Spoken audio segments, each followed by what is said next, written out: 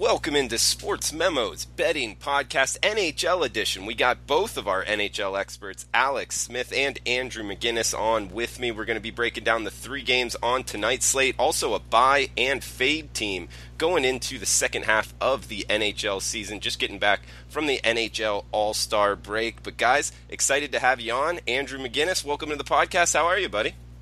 Yeah, doing great, Drew. This is awesome. This is going to be a lot of fun. I'm really excited for this. Got the three of us going. Uh, talking about uh, you know post All Star break, what we think about certain teams, buy and sell should be a great time. How are you, Drew? I'm doing good, man, and uh, yeah, you, you, you, all three of us are on, and I, have been with Sports Memo since August of 2014. I don't think we've ever had a multi-person, you know, more than two guys on the podcast at one time. So this might be a first. I don't know if you're a client out there, uh, a, a long-term listener reach out to us on Twitter and, and let us know if this has ever happened before. But it hasn't happened since I've been here. And, and Alex B. Smith, Alex, welcome into the podcast. How are you? Yeah, thanks for having me, Drew. Yeah, I, I remember listening to, to, the podcast for for quite a while on here, and I don't think there ever has been uh, a, a multi uh, capper you know show before. So this is this is cool, cool to be a part of it. And like I said, you know, getting back into the the swing of things with the All Star break past us now, so it's uh you know basically a rush for the playoffs now. You got about 30 35 games left for each of these teams, and uh, it's going to be fun the next several weeks. Yeah, and you, and you guys usually do a, an NHL um, kind of video podcast with uh, the Prez over at Wager Talk, so it's, it's a good mm-hmm. thing to have you guys on here. So look out for that over there. But uh, I guess from time to time we can do this going forward if, if, if this goes well. We got three games tonight. We're going to break down, but do want to get a bet on and fade team from each of you guys coming out of the break. Um, Alex, we'll come back to you, and guys, you can follow Alex on Twitter at AX Smith Sports. Um, great follow there for NHL news. But um, did you want to throw out a, a bet on team you're looking to uh, to bet here in the NHL out of the break? Yeah, one of the teams that I'm looking at here, and uh, it's really interesting because, like I said, there's a it's a kind of a, a in, the Western Conference, you have uh, the, you know your top teams. You look at the Nashville's, Calgary's, Vegas, you know Vegas Golden Knights, and then at the bottom, in the the two teams, there's two spots left in the the wild card race. There's a ton of teams there that have some shots uh, that can make a run for the playoffs. And the team that I'm looking at, a team that was really bad the last couple of years, and they're a young group, and it's the Vancouver Canucks. Uh, they've got some some solid developing talent led by Elias Pettersson, a guy who's just been absolutely sensational. 20 years old. He's got 23 goals and 22 assists in 40 games. Uh, he's missed some games due to injury. He's now slowly starting to get back into the fold. Uh, this is a team that, if you look at that Pacific Division, of course, they're not going to be able to just completely hang around with the Calgarys and Vegases of the world, but they can beat teams like Arizona, beat teams like Edmonton that struggle. And if you look at their schedule, uh, the rest of the way, they open up with, with a four-game uh, road trip, and then they play seven of their first nine games back on the road. If they can get through that stretch and maneuver, find some ways to beat some teams on the road, then they look down the line at the end of March. They have a big homestand. They can earn some points. I think they'll be able to sneak in and, and, and steal a wild card spot here. So I look for Vancouver uh, as a buy on team. There's a team that's going to be uh, more often an underdog, but I think they're going to be able to sneak past some teams uh, and make some noise late. All right, like in Vancouver, buy buy on uh, at McInnis Picks. That's Andrew McInnis' Twitter handle there. Do you have a, uh, a bet on team out of the break, Andrew?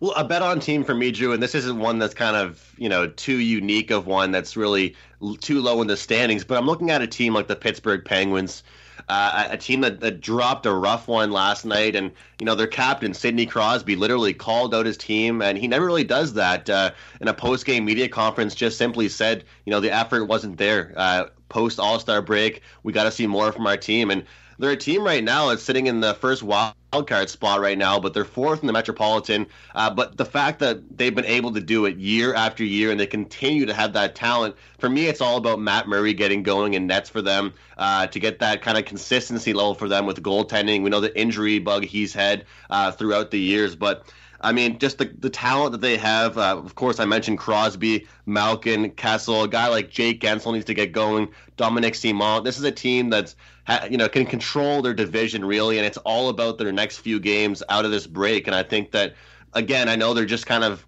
you know, this Pittsburgh team that's been great for the past several years, but right now they're sitting, sitting in that wild card spot. I really feel like over the next couple weeks, they really make that push and we start seeing them light the lamp uh, in this league. So look for the Pittsburgh Penguins to start lighting up the scoreboard uh, a lot more than how they really were looking before the All Star break. So uh, Pittsburgh Penguins for me are kind of my huge buy team right now.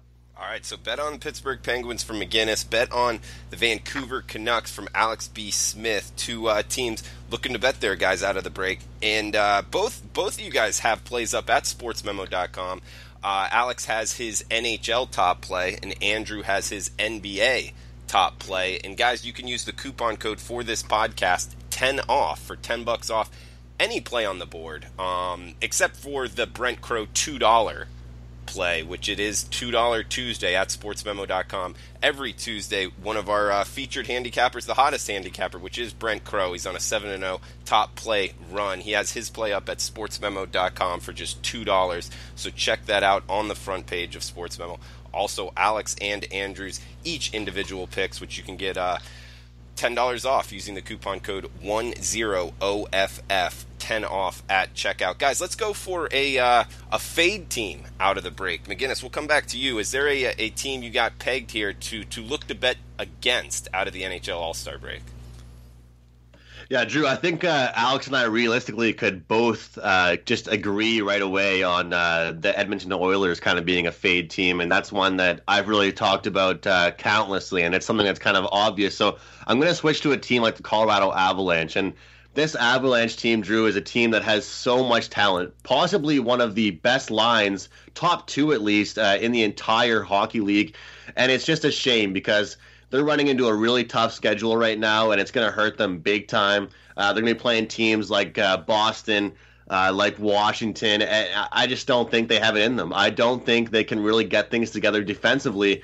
The, the fact that they are leading by two, three goals in games and somehow end up choking these leads, uh, it just is not really a good look for them. You know, they're going to be playing a team like the Islanders that have you know the youth, the speed, the line depth, the, you know the physicality that this Avalanche team does not seem to have. With Nathan MacKinnon having some injury problems, of course he's a great player, he's a beast out there, but he can't carry that load. And you often talk about how in certain leagues like the NBA, they're so top heavy right now. You just can't have that uh, in the NHL. You have to have depth. You have to have numerous, multiple scorers. And right now, we are not seeing that with the Colorado Avalanche.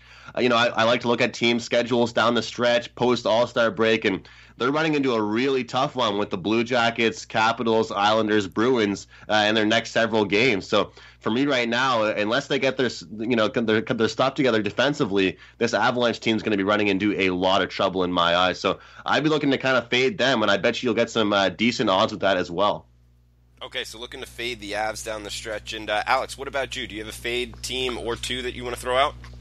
Yeah, I do. But one thing to interestingly note about, uh, you know, as we're talking about these, like I said, my, my buy on team was Vancouver. His fade team being Colorado. Those two teams play on, on Saturday night. So, uh, you know, something that, you know, uh, betters might want to circle, uh, like I said, a, a, matchup of teams that are jockeying basically, they're right neck and neck in the Western Conference standing. So that should make for a, good battle. But I'm looking at the Eastern Conference here uh, with a team that I'm selling, and that's the Columbus Blue Jackets. This is a team that, if the season were to end right now, would be in the playoffs. But uh, the biggest news with this team is that they can't sign, or at least their their main star is willing to uh, unwilling to sign a long-term extension with the team. That's Artemi Panarin, who has 19 goals and 34 assists in 46 games. He's the team's leading scorer. They're going to have to possibly trade him because this has been a whole debacle all year. He wants out of Columbus, uh, and this is a team that desperately needs him because if you look at, uh, as a bit of a drop-off uh, Cam Atkinson is the top goal scorer with 27 goals here, but other than, than Panarin, he's the best playmaker. He's one of the best playmakers in the world. This guy is uh, uh, seriously an underrated talent in my eyes and for them to have to move him. Also, there's been issues with Sergei Bobrovsky, their star goalie, Vezina Trophy winner, uh, their main number one guy. If they, if they, were to have to get rid of him or uh, have if he's unhappy, he wants to go somewhere else. This team's going to be in a world of trouble trying to make a playoff spot, hang around that Metropolitan Division with, as Andrew mentioned, the Pittsburgh Penguins, uh, the defending champions, the Washington Capitals, the New York Islanders, a really good team on the rise right now, leading that Metropolitan Division. Uh, I just don't think they're going to be able to hang around. Like I said, you got teams coming up like Carolina as well uh, there's a lot of teams that are under the radar that right outside of that wild card spot that where somebody's gonna have to get pushed out, and I think it's Columbus is a team that we've seen collapse uh, in the postseason or in the second half for a couple of years now. If they have to move Panarin, they're going to be in a lot of trouble. And Alex, let me let me come back at you because Columbus is hosting Buffalo tonight. We got 75-76 on tonight's slate, top of the yeah. card here, total of six, and they're laying a big number here, minus one seventy. So if they're on your fade list, are, are they on your fade list as as early as tonight? Yes, absolutely. You got a, a, Buffalo team that you know we've seen them struggle. They were struggling quite a bit going into the All Star break. But one of the biggest things is that they they're a team that really needed this weekend to kind of heal and rest. I mean, you had guys uh, like their their team leader Jack Eichel uh, had dealt with some injuries. He was just starting to come back. They're trying to work him back into the lineup. Those extra days off and, and a couple of days of practice, now getting ready to go uh, and battle a team like Columbus. I think that that's a, a good sign, and uh, I think that we're going to see both these teams skate pretty hard tonight. But I think Buffalo is, is a live dog. You find them around plus 150, 155. Uh, this is a, a, team that when they get things rolling, we saw them really heat up uh, right before Christmas time.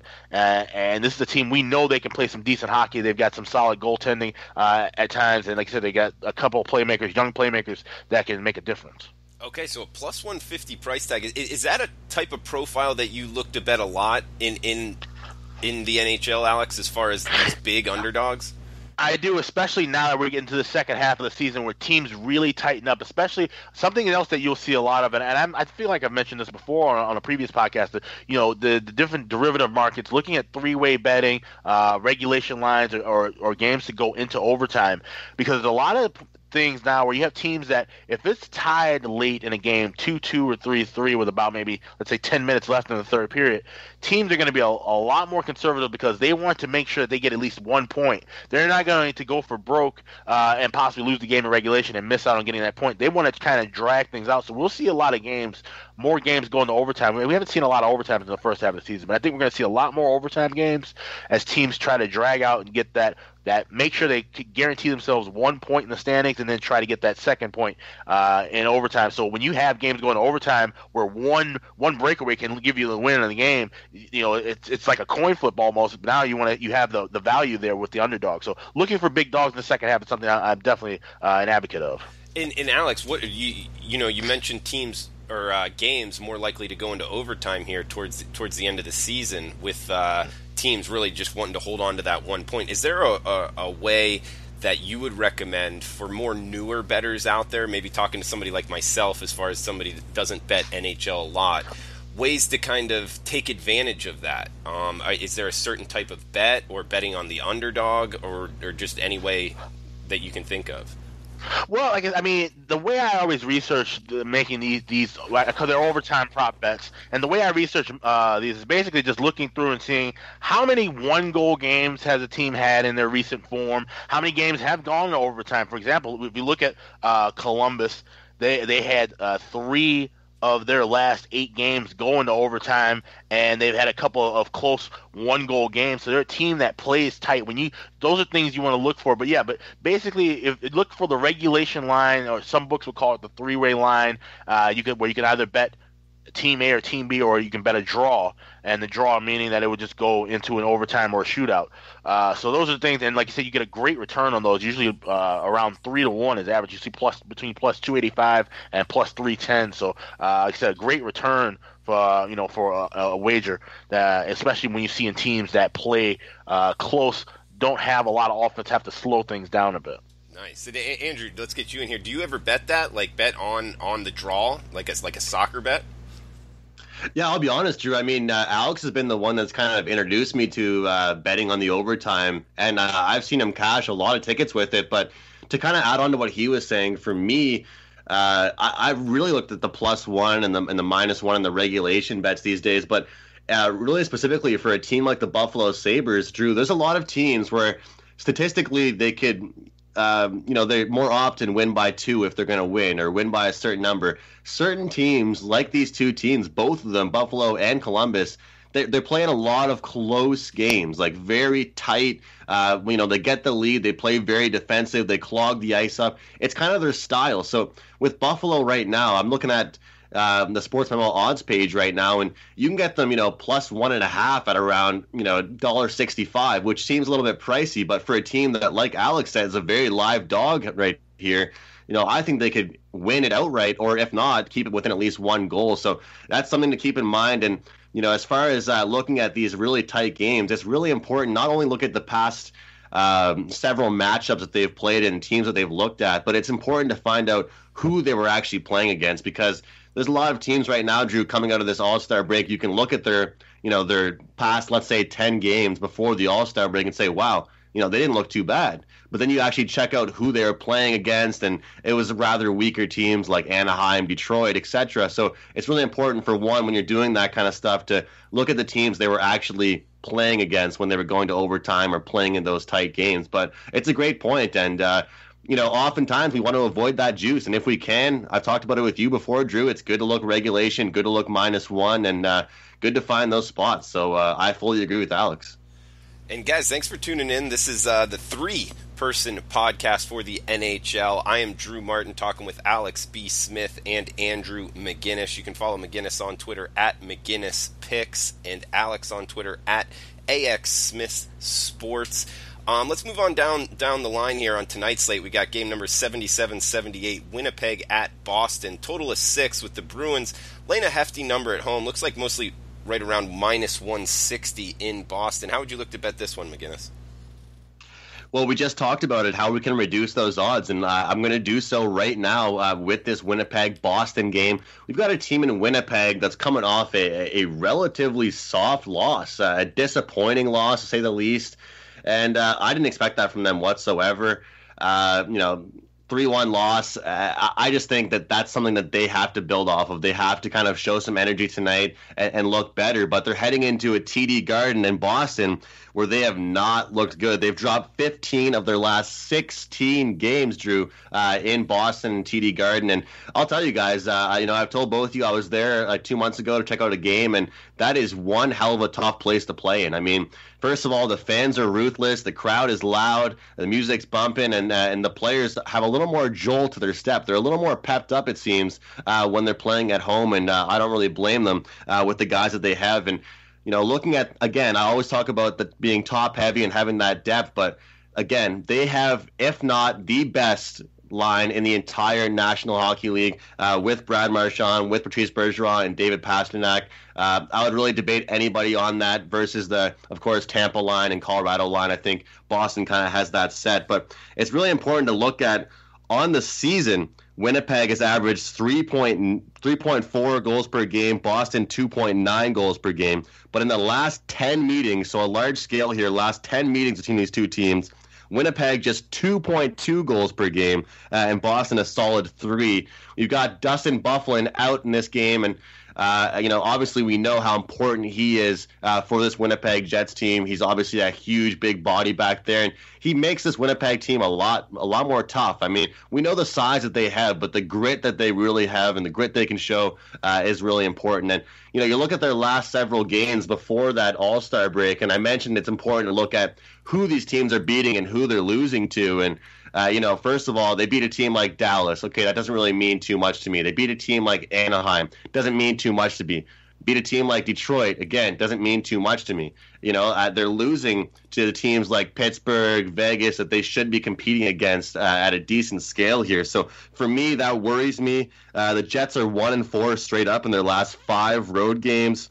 And Tuukka Rask is out, but who else is better to have as your backup goalie right now than Halak. I mean, Halak's looked like a number one uh, pretty much all year long. So it's pretty great when you have a team that can have practically two number one goalies uh, in your lineup. So for me, uh, to say the least, I, I, I love this this Bruins team down the stretch right now. I love this team throughout their entire lineup. You can get them in regulation at plus 100. And the fact is, I'd love to say this Winnipeg Jets team can bounce back after that absolutely brutal performance last night. But I just think entering TD Garden, where they obviously haven't fared well recently. I think they come in and, and not, again they come close, but they won't really fare well against this big bad Bruins team. I'd also lean to the over in this game. Uh, I think we could see some goals, but when it comes down to it, this Boston team's going to get things done. I look to see David Pastrnak have an absolute standout of a second half of the season, and uh, I think Boston gets things done. So I'm going to go with Boston Bruins in regulation plus 100. We're going all the way, Drew, from around minus 145 where the line opened up. We're minus 160, 65, 70 now at some spots. Getting that all the way to plus 100 with the regulation line with this Bruins team. Okay, nice. I like that. That's a that's a big shift in the number. And you, you also bring up the name Halak. That I, I remember that name from a couple years ago. He, he's pretty good, right? He's been around for a while. Yeah, don't remind me. My Montreal Canadiens traded him away. That could have been a good little one-two punch with Carey Price. So it's always tough to see him doing really well against uh, against my team, uh, the Canadiens. But yeah, again, I mean, the, it's so important, Drew, to to have that one-two punch, to have a backup goaltender that can pretty much be as good as a number one. And you know, just a quick, not to get too off topic, but Winnipeg last night uh, threw out Laurent Brossoit, and they've got you know a guy like that, I believe, with like a ten and four record. So you know, oftentimes your backup has a great record, and of course they're playing a lot weaker of teams, but if you can have a backup go out there and not have to worry about how he's going to play and the rebound control and stuff like that, because they aren't playing as many games, so they're not used to being out there. But if you can have a backup that you can trust on a nightly basis to be able to have to go in in case of injury or flu or whatever, uh, it definitely makes you a lot more calm. So uh, I don't really feel any kind of worry the fact that I know Halak's going to be in nets tonight. Good stuff, Andrew. And guys, remember the coupon code 10 off at checkout for any play on the board outside of the $2 play for $2 Tuesday, but any other play on the board for tonight or any play this week for $10 off the retail price at sportsmemo.com. That coupon code is 10 off at checkout. We got one more game here to complete the every game on the board in the NHL. 79-80 Philadelphia at the New York Rangers. High total here, Alex, six and a half, and it looks like a pretty evenly matched game with the Rangers laying minus 115 to minus 120, depending where you're shopping. Yeah, both these teams kind of struggled early in the year, and then they've come back uh, uh to basically uh, you have you have New York going in, into the break on a three-game win streak. You have Philadelphia go into a three-game win streak and then pick up the win against Winnipeg, as Andrew was mentioning, that three-one uh, win, which is a bit of a shocker uh, honestly, because it, like I said, it's a Philly team that has struggled. They've had seven goaltenders this year, and uh, I, I, tweeted it out. I said, when your team has seven goaltenders, it means you don't have a goaltender at all, because this is a time of year where you really need to buckle down and settle with one guy uh, and have you carry you the rest of the way. But with that being said, this is probably a good spot here for Philadelphia. Normally, you want to fade a team on the second night of a back-to-back, but that hasn't been an issue for the Flyers. They're three and four in that situation. One of the three wins they picked up was against the New York Rangers, and this is a team they've dominated as of late. They've won five straight meetings, uh, and, and, they've won six of the last eight. Uh, and this is some by some wide margins too. A seven to four victory, uh, a couple of, of, shutouts, a five nothing victory, a four nothing victory, and that three two victory that happened uh, early in this year as well. So this is a Flyers team that I'm, I'm really thinking. I don't know if they're going to be able to make a, a, a, run to the playoffs because, like I said, they had so much issues with defensively and different things. But I think they could catch a New York team. It's a team that we've seen kind of go uh, they run their Jekyll and Hyde kind of thing as far as being a really solid offensive team, and then all of a sudden the offense kind of dies down, and then they're just all about their defense. Then the goaltending kind of falls apart. They haven't really been consistent in, in any form or fashion this year. But getting Philly right now, you can find it anywhere between plus a dollar five uh, I'm also seeing up as high as plus a dollar ten, and if you look at the regulation price, you can even catch it plus 175. But uh, I'm just going to go with the standard money line play here. I'm thinking with the Flyers plus 105, they should be able to take care of the Rangers and extend that that winning streak uh, and over the last several meetings. All right, good stuff, Alex. And, and you bring up, you know, the seven goalies. It, it, it brings a question to my mind. Um, would you say the NHL goalie is more important to his team, you know, betting wise, than than say the pitcher in baseball, a quarterback in the NFL, point guard in the NBA? Would you say it's the single most important position, or would you say one of those other positions is more important? No, I, I, I you made a great point. I equate it exactly to a pitcher in baseball, and I've I've been an advocate for a long time of saying that books should list goaltenders like they list uh, starting pitchers because if you think, let's say for example, uh, let's take a look at last night's game with Flyers and Jets. Connor Hellebuyck is a much better goalie than Laurent Brossoit. If, if I'm thinking Connor Hellebuyck's going to be starting the first game back out of a, of a break, uh, and then all of a sudden they make the change to Brossoit, I would definitely that makes it a world of difference to whether I want to keep that bet alive or not. So uh, that's a perfect example, uh, perfect correlation there. Is that goaltenders, especially this time of year too, uh, Andrew mentioned with a team like Boston, when you have two goalies that could easily be a number one, that's way more valuable than having uh, a workhorse goalie. Like let's say for example in Vegas, where you have a guy like Marc Andre Fleury, who's just been an absolute workhorse, playing virtually every game it seems like, uh, and then you have a guy like Malcolm Subban, his backup, just kind of come in and spell him against some of the, the weaker teams in the league. Yeah, that, that kind of system works in the season, but you got to understand, uh, you know, you're going to go through this grueling season and then get ready for an even more grueling uh, you know, turnaround in the postseason, you want to keep that number one guy fresh. So to have a two goalie system that's solid, that's worth something. But when you start talking about five, six, seven goaltenders, uh, that that's that's a, an issue. And I, of course, it's been injuries for Philadelphia, but it's been like that for about 25 years. This team, this franchise has just not been able to hold on to one goaltender and keep him the whole way. So it's just kind of a, a, mess, and hopefully they can figure that out. And Carter Hart, he's the, the goalie of the future. He's the guy who's expected to go in net tonight as well. Uh, I think he's the guy they need to really start relying on. Give him this work now, whether they start winning and, and make a playoff run or they start losing and they're in a good position for the draft uh, this summer. Either way, they need to give yeah. put the confidence in Carter Hart to be the number one guy going forward. And McInnis, yeah, jump in here. Do you have any disagreements with what Alex said? Well, I think that a uh, good point to add to kind of just to, to build on what Alex is saying and to your great question is that it's also a good opportunity to to kind of cash some tickets from a betting perspective when you have that backup in, and that's why it's so important. And I've talked about this personally with you, Drew, about you know overnight plays and looking at things overnight or looking ahead at schedules and stuff like that. Because if you are, are ahead of the book, so you are you know, intelligent enough to think, hey, maybe this backup's going to be in there, or maybe this guy's going to be starting here, this or that. I bet you the average Joe last night might have thought Hellebuyck would be in nets. But of course, this is the bigger game tonight against Boston. So of course, Hellebuyck's going to be playing in the bigger game.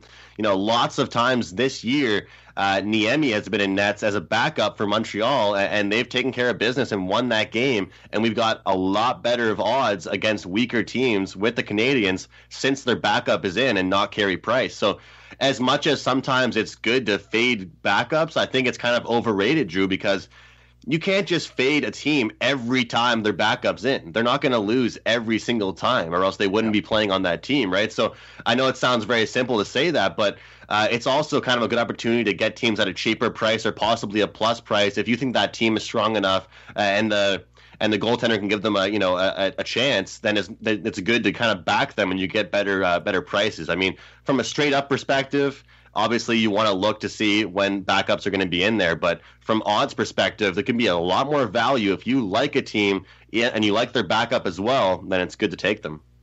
Okay good stuff good point there mcinnis and uh, guys i guess we could just go around for, for final thoughts here and uh, let me just leave you with the coupon code here 10 off any play on the board at sportsmemo.com also remember it's $2 tuesday so you can get brent crow's uh, top college basketball play for just two bucks at sportsmemo.com. Make sure to check that out, guys. Uh, Andrew McInnis, man, thanks for the time. Follow him on Twitter at McInnis Picks. He has his top NBA play up there, which you can get it for uh, ten dollars off using the coupon code ten off at checkout. But McInnis, any closing thoughts here before we shut this down? Closing thoughts, uh, possibly just want to wrap things up uh, with the with the trade last night. I mean, Maple Leafs finally getting that defenseman they needed with Jake Muzzin uh, from the Kings, and it's uh, it's a big trade for them. They didn't have to give up anything too special. Didn't have to give any you know huge picks up. They didn't lose lose Nylander. Didn't lose Kapanen. Uh, it's good to see for them. I mean. Uh, as far as a team that's been chasing that spot, they've got the young guys like Nylander, like Matthews, uh, like Marner. You know, so many, spe- so much special talent but it was always that kind of decor. And now they've kind of have those top four defensemen to, to be able to to kind of put him up there with with Morgan Rielly is going to be outstanding. So with a guy like Muzzin, uh, Drew, he had a plus ten rating, uh, which is you know exceptional for a team for a guy especially that's playing on a weak team like the Kings uh, to go over and now be a top two, top one uh, real defenseman on this Leafs team that's you know sitting at the top of the Eastern Conference with up there with the Tampa Bay Lightning. It, it's pretty awesome. So you know as much as I hate the Leafs as far as a betting perspective goes, uh, it's pretty good for them. So I got to be happy for the Leafs. And man, they really did a great job. Shout out to Kyle Dubas, the GM, uh, the new GM there for the Leafs, doing a great job over there in Toronto. And uh, yeah, big news in the hockey world, guys. All right, McInnis. Well, and he's sitting 59% year to date in NHL totals, so uh, a good handicapper there on the ice. And we also got Alex B. Smith. Follow him on Twitter at AX Smith Sports. 18 and 6 run on NHL totals. That's 75% on the ice in the totals market. So Alex doing very well as as well and he has his top NHL play going tonight at sportsmemo.com. Alex, any closing thoughts before we shut this down? Yeah, a couple of notes. One thing uh, to go back uh, just a, a, short bit, talk about that Flyer Ranger game tonight, and, and mentioning backups. It's going to be a battle of backups with that game. You got Anthony Stolarz that'll be a net for the Flyers. He's two, three, and two. He's kind of struggled a little bit, but that was earlier in the year. He kind of uh, played some games and then was sent back down to the AHL for a while. He's going up against Alexander Georgiev, who's been uh, King Henrik's backup in, in New York this year. Hasn't really fared that well. Don't be fooled by his six and eight record. This guy's let in a lot of soft goals in some of some of his starts. So, like I said, you can't just blindly fade a backup because if you look at Philly side, you're thinking, oh, okay, AHL call up. This would be a guy I want to bet against. But uh, this guy who's been in the NHL as a backup all year in Georgiev, he's really kind of the guy you want to go fade against. But uh, kind of the touch on also with the Muzzin trade. I think I, I, agree with Andrew what he said. Excellent deal for Toronto to pick up a guy. Muzzin's not just a rental guy either. This is a guy that they can kind of hang on to uh, and maybe sign uh, for a couple of years as well and keep with that defensive core. They needed some. They've desperately needed help on the blue line. They have great goaltending. We know the scoring prowess that they provide. Uh, so now having a, a guy, a proven uh, guy with playoff experience on that blue line, that's going to be huge for a Leafs team that's desperately looking to end their cup drought. So, uh, like I said, we're going to see a lot more great trades like that and a lot more things that are going to affect the market. And this is just a fun time to be watching hockey, betting hockey uh, as we get ready for the push for the playoffs. Guys, great podcast. Glad we did this. Um, and, and best of luck with your guys' bets tonight. So let's do this again soon everyone out there, thank you for tuning in. We'll uh, we'll do this as soon as possible next time. The NHL betting podcast with both Alex and Andrew. Best of luck with your bets. We'll be uh, back tomorrow with some Robbie Vino talking college basketball. Thanks for tuning in.